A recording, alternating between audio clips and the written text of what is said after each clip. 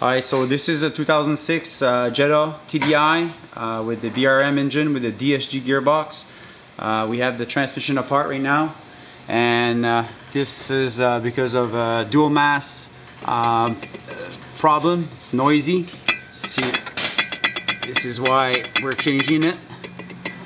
The new one should not be like this. See this one how easy it moves.